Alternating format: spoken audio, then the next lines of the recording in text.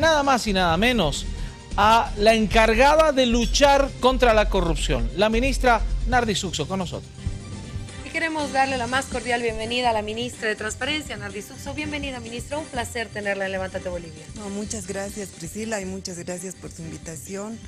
Eh, usted sabe que nosotros estamos siempre a disposición para dar información de todas las actividades que tenemos dentro de eh, lo que significa esta tarea tan dura que es la lucha contra la corrupción. Y antes de comenzar eh, todas estas actividades y los casos que vamos a conversar, en honor a la verdad y a lo que se decía de por qué había desaparecido la ministra eh, Nardi Suxo, porque tú decías, ay, están tantos los casos de corrupción y no aparece la ministra. La ministra es un ser humano, como nosotros, que también tiene que pasar por momentos difíciles. Y usted fue intervenida, ministra. Bueno, sí, he tenido una intervención bastante delicada, pero mm, la verdad, Priscila, si no hubiera estado intervenida, yo no puedo referirme a casos que no están dentro del ministerio. nosotros lo he manifestado permanentemente, pero parece que algunas personas no quieren entenderlo. Nosotros no actuamos de oficio. Los únicos que actúan de oficio son los del Ministerio Público. Nosotros actuamos a denuncia. Una vez que nos llega una denuncia, nosotros procesamos la denuncia y la remitimos al Ministerio Público, que es quien tiene que hacer la investigación correspondiente. ¿no? Y eso yo, sí, yo estaba escuchando, eh, decían, no dice nada la ministra, no puedo decir nada si ese no es un caso que está en el ministerio. Si es un caso que está en el ministerio, por supuesto que tengo la obligación de informar sobre los avances y también los retrocesos y los retrasos que tenemos en los casos, porque son muchos. Uh, la inacción del Ministerio Público y del órgano judicial a veces hace que los hechos de corrupción queden en la impunidad.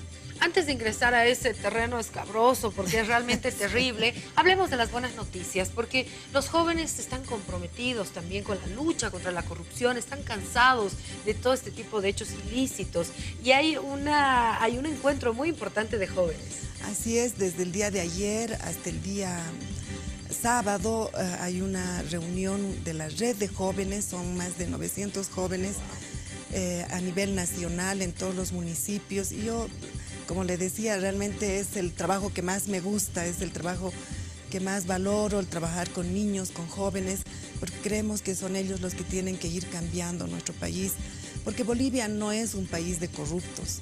Habrán algunas personas corruptas, pero en Bolivia en la generalidad somos gente trabajadora, honesta, y eso es lo que hay que siempre rescatar y siempre hay que tener en cuenta con los jóvenes.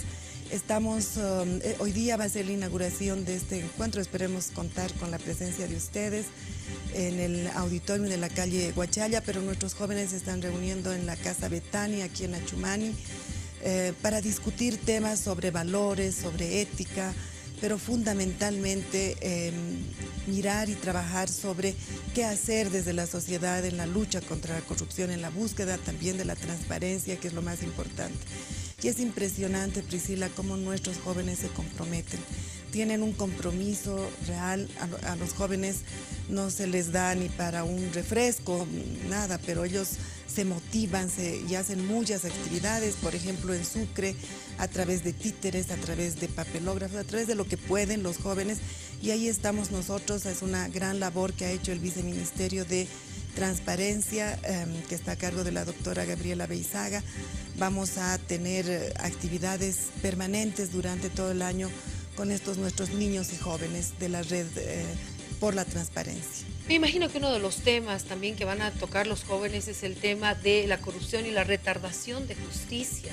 Porque uno puede denunciar, pero hasta que se llegue a una sentencia pasan muchos años y hasta el olvido de muchos casos. Entonces, ese es un, problema que hasta ahora no se puede solucionar.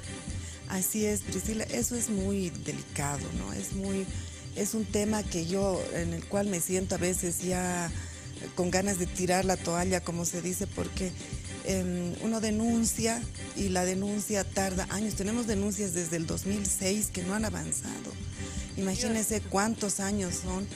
Y eh, lo peor, claro, también para las personas denunciadas es una vulneración a sus derechos humanos, porque la persona denunciada también tiene derecho a saber qué ha pasado con esa denuncia que se le ha hecho, ya sea desde el Ministerio de Transparencia o ya sea desde el Ministerio Público, necesita saber qué es lo que sucede con su situación jurídica, no puede realmente hacer sus actividades normalmente. También en favor de estas personas es que reclamamos que de una vez la justicia se pronuncie.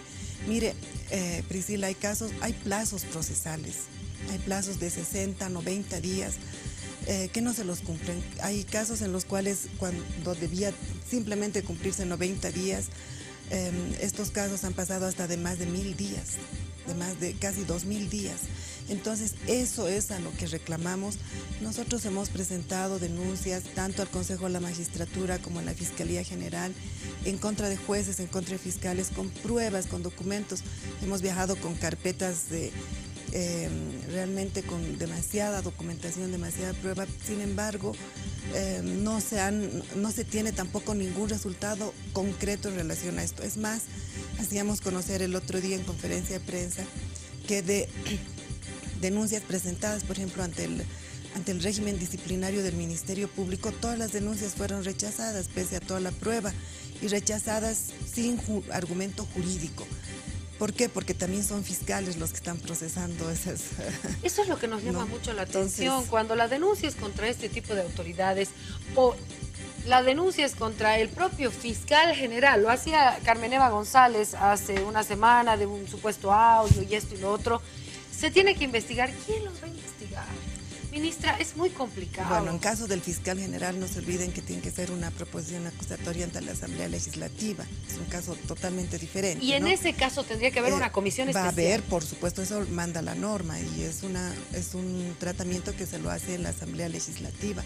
Pero en el caso del, resto de los fiscales, de los fiscales de distrito, de los fiscales em, em, que tienen que ver casos, hay un encubrimiento. El día de ayer Priscila, felizmente tuvimos una acción con éxito, se puede decir, eh, en contra de un fiscal de Oruro que había pactado con, con un